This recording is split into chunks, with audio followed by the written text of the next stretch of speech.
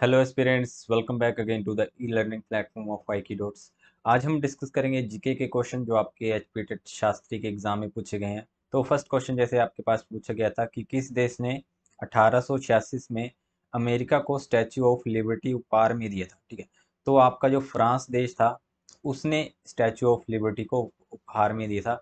Basically अठारह सौ पचहत्तर में जो स्टैचू ऑफ़ लिबर्टी है, इसकी इसका बनना शुरू हुआ था, ठीक है? अमेरिका और फ्रांस ने इसको बनाना शुरू किया था, ठीक है? मैक्सिमम पार्ट इसका जो है फ्रांस में बना था, ठीक है? फिर बाद में फ्रांस ने उस पार्ट्स को असेंबल करके अमेरिका को दे दी थी अठारह में। ये लगभग आपका अट्ठाईस अक्टूबर अठारह को दिया था, ठीक है? तो ऑप्शन ए इसका राइट आंसर हो जाएगा। नेक्स्ट है कि बिशप की ताजे पानी की सबसे बड़ी झील कौन सी है? तो बिशप की ताजे पानी की सबसे बड़ी झील आपकी हो जाएगी स्पूरी झील। तो ऑप्शन बी यहाँ राइट आंसर हो जाएगा। इसके अलावा बात करें, अगर आपसे पूछा जाए कि विश्व में सबसे बड़ी पानी की झील कौन सी है, ठीक है? ताजे पानी की नहीं, सबसे बड़ी तो आपकी वो हो जाएगी Caspian sea that is Caspian सागर, ठीक है? इसके अलावा अगर आपसे पूछ ली जाए कि आपकी डीपेस्ट सबसे गहरी झील कौन सी है, ठीक है? डीपेस्ट आपकी बेकाल झील है तो ऑप्शन ए ठीक है? नेक्स्ट क्वेश्चन है विश्व जनसंख्या दिवस कब मनाया जाता है? तो ये आपका मनाया जाता है ग्यारह जुलाई को, ठीक है? ऑप्शन ए आपके पास राइट आंसर हो जाएगा। नेक्स्ट है विश्व बैंक का मुख्यालय कहाँ स्थित है? तो विश्व bank that is World Bank इसका मुख्यालय वॉशिंगटन डीसी में स्थित है, जो आपकी अमेरिका की कैपिटल है, ठीक है? नेक्स्ट है रामचरित मानस के लेखक कौन है? तो रामचरित मानस आपकी लिखी है तुलसीदास ने, लगभग लगभग सिक्स सेंचुरी के आसपास उन्होंने लिखी थी आपकी रामचरित मानस ठीक है? नेक्स्ट है, महात्मा बुद्ध को ज्ञान की प्राप्ति किस स्थान पर हुई थी?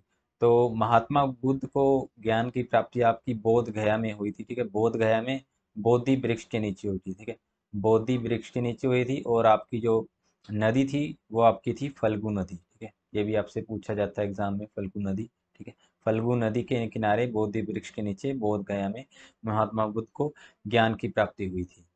नेक्स्ट है, स्वतंत्र भारत के अंतिम गवर्नर जनरल कौन थे? तो ये थे आपके चक्रवर्ती राजगोपालचार्य तो ऑप्शन ए इसका राइट आंसर हो जाएगा। लगभग 1948 से 50 के बीच बीच इसका पीरियड रहा है। नेक्स्ट है, करक रेखा भारत के किन राज्यों से गुजरती है?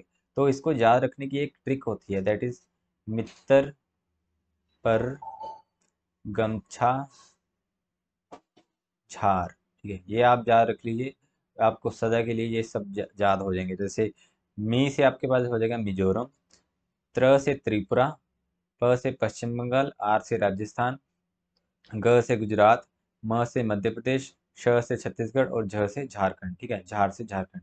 तो आपके पास एक, दो, त्रिपुरा, तीन पश्चिम बंगाल, चौथा राजस्थान, पांचवा गुजरात, छवा मध्य प्रदेश, सातवा छत्तीसगढ़ और आठवां झारखंड। टोटल आठ आपके राज्य हो जाएँगे, ठीक है? ऑप्शन बी इसका राइट आंसर हो जाएगा। नेक्स्ट है नोबेल पुरस्कार प्राप्त करने वाले प्रथम भारतीय कौन थे?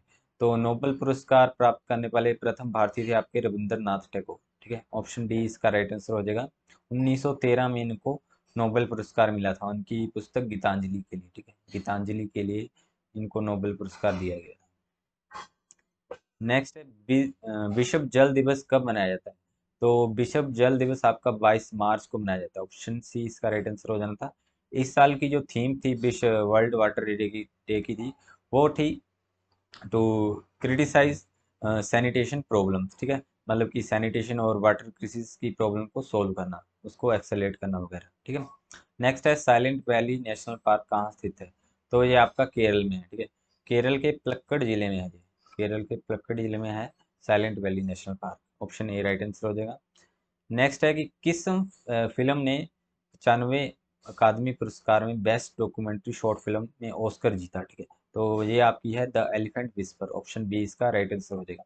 इसके अलावा आपसे अगर पूछे कि सबसे ज़्यादा अवार्ड या फिर बेस्ट फ़िल्म कौन सी रही है इस बार की तो वो है आपकी everything every think everywhere all at once. काफ़ी मस्त फ़िल्म है, देखी है मैंने। काफ़ी बढ़िया फ़िल्म है। इसमें एक्शन भी टॉप लेवल का है, ठीक है? एक्शन के लिए भी इसको ही मिला है वो, ठीक है? सबसे ज़्यादा अवार्ड इस साल जो है, इसी फ़िल्म ने ग्रैब की है। तो ऑप्शन अगर क्वेश्चन आपसे पूछ लिया जाए इस क्वेश्चन का आंसर तो बी हो जाएगा। इसके अलावा आर आर के नाटू सॉन्ग को बेस्ट डांस का अवार्ड ठीक है? दिया गया है। नेक्स्ट है, नीति आयोग का अध्यक्ष कौन होता है? तो नीति आयोग के अध्यक्ष आपके प्रधानमंत्री होते हैं that is Shri Narendra Modi. Next है, भाई दो ना पाई दो, किस आंदोलन का विस्तार था, ठीक है? तो भाई दो ना पाई दो का मतलब है कि ना ही हम आपको भाई देंगे अपने, ना ही आपको पाई देंगे अपनी। मतलब कि एक तरीके सवन्नी अवज्ञा आंदोलन का ये विस्तार था, ठीक है? जो आपका 1930 में शुरू हुआ था, उसका विस्तार था, भाई दो ना पाई दो। मतलब कि जब वर्ल्ड वार टू स्टार्ट हुआ था तो मतलब कि ये आंदोलन चलाया गया था कि वर्ल्ड वार टू के लिए हम आपको ना सैनिक देंगे, ना ही पाई देंगे, ठीक है? भाई दो ना पाई दो। ये हिमाचल प्रदेश का आंदोलन था। नेक्स्ट है, Himalayan hill states regional council के पहले अध्यक्ष कौन थे? तो इसके पहले अध्यक्ष थे स्वामी पूर्णानंद। ऑप्शन ए इसका राइट आंसर हो जाएगा। अगर आपसे पूछा जाए कि इसके जनरल सेक्रेटरी कौन थे, ठीक है? जनरल सेक्रेटरी इसके पंडित पदम देव थे, ठीक है? अध्यक्ष स्वामी पूर्णानंद और जनरल सेक्रेटरी पंडित पदम देव हो जाएँगे। नेक्स्ट है 30 मई 2023 को हिमाचल प्रदेश उच्च न्यायालय के मुख्य न्यायाधीश के शपथ ली किसने ली, ठीक है? तो ये आपके लिए है न्यायमूर्ति एम एस चंद, रामचंद्र राव जी ने, ठीक है? ऑप्शन डी इसका राइट आंसर हो जाएगा। नेक्स्ट है कि शिमला में आलू की खेती किसने शुरू की थी? तो शिमला में आलू की खेती शुरू की थी मेजर कैनेडी ने, ऑप्शन ए राइट आंसर हो जाएगा अठारह के आसपास, ठीक है? नेक्स्ट है उन्नीस सौ बावन में हिमाचल प्रदेश विधानसभा में कितने सदस्य थे? ठीक है तो कितनी सीट थी या फिर कितने सदस्य थे? जो आपकी थर्टी सिक्स सीट थी, ठीक है? और इसमें से सबसे ज़्यादा सीट्स आपकी आईएनएससी ने that is Indian National Congress ने ग्रैब की थी ट्वेंटी फोर दैट इज़ ठीक है? नेक्स्ट है, ऋग्वेद में वर्णित राजा शंबर और राजा दिवोदास के बीच युद्ध कितने वर्ष चला? तो ये क्वेश्चन हमने आपसे डिस्कस किया था अपने वीडियो में, ठीक है? तो जो आपके इसमें विजय हुई थी, अब वो आपके आर ए नरेश ठीक है? आर ए नरेश देवोदास जी की हुई थी, चालीस वर्ष तक युद्ध चला था, ठीक है? जो आपके राजा शंबर थे, वो किरात, ठीक है? किरात को बिलोंग करते थे, ठीक है? नेक्स्ट है, निम्न में से किस विटामिन रक्त का थक्का बनाने के लिए आवश्यक है? तो सिंपल आपका विटामिन के इसका राइट आंसर हो जाएगा। नेक्स्ट है poverty and un British rule in India नामक पुस्तक किसने लिखी है? तो ये आपकी लिखी है दादाबाई नौरोजी ने, ठीक है? 1901 के आसपास से लिखी थी, ठीक है? बेसिकली इस बुक को ड्रेन ऑफ़ वेल्थ भी कहा जाता है, ठीक है? ड्रेन ऑफ़ वेल्थ की थ्योरी इसमें इंक्लूड की गई है। इसमें उन्होंने बताया है कि कैसे जो ब्रिटिशर है, जो गोरे हैं, अंग, भारतीयों से पैसा लूट कर वहाँ पे अपनी ब्रिटिश इंडस्ट्री को डेवलप कर रहे हैं, ठीक है? कैसे गोरे जो है, भारत, भारतीयों का पैसा लूट कर अपनी इंडस्ट्री को डेवलप कर रहे हैं, ये सब चीज़ें उन्होंने बताई थी अपनी इस बुक में। नेक्स्ट है भारत का शासन ईस्ट इंडिया कंपनी से क्राउन को किस एक्ट के द्वारा स्थानांतरित किया गया था ठीक है? तो जब आपकी अठारह की क्रांति हुई थी ठीक है तो उसके बाद जो था ईस्ट इंडिया कंपनी से जो आ, आ, मतलब कि क्या कहते हैं रूल था ठीक है वो ट्रांसफ़र किया गया था क्राउन को ठीक है? ये आपका हुआ था अठारह के भारत सरकार अधिनियम के तहत ठीक है? नेक्स्ट आपका है कि काली क्रांति किससे संबंधित है? ठीक है तो ये आपके पेट्रोलियम से रिलेटेड है दैट इज़ कच्चा तेल उत्पादन से संबंधित हो जाएगा इसका राइट आंसर नेक्स्ट है केंद्र सरकार की प्रथम विधि अधिकारी अध्यक्ष कौन होता है? तो ये आपके होते हैं अटोर्नी जनरल दैट इज़ महान्यायवादी ठीक है? तो ऑप्शन सी राइट आंसर हो जाएगा. अगर इसके अलावा आपसे पूछ लिया जाए कि अटोर्नी जनरल को अपॉइंट कौन करता है तो इनको अपॉइंट करते हैं आपके प्रेसिडेंट ठीक है? और इसके अलावा इसको क्या कहा जाता है? फ़र्स्ट लायर या फिर primary lawyer of Supreme Court, ठीक है? इनको ये भी कहा जाता है कि आपके जो प्राइमरी लायर है, सुप्रीम कोर्ट के, वो भी आपके अटॉर्नी जनरल ही होते हैं।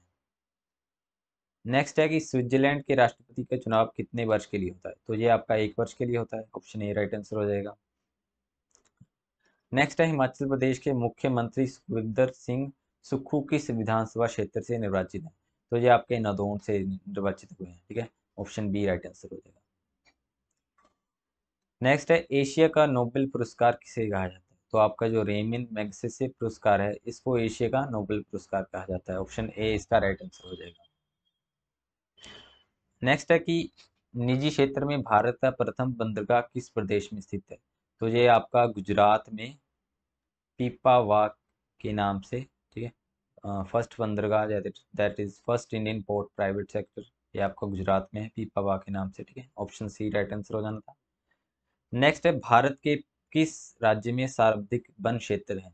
तो सबसे ज़्यादा जो वन है, वो आपका कवर करता है एरिया वाइज मध्य प्रदेश, ठीक है? ऑप्शन बी राइट आंसर हो जाना था।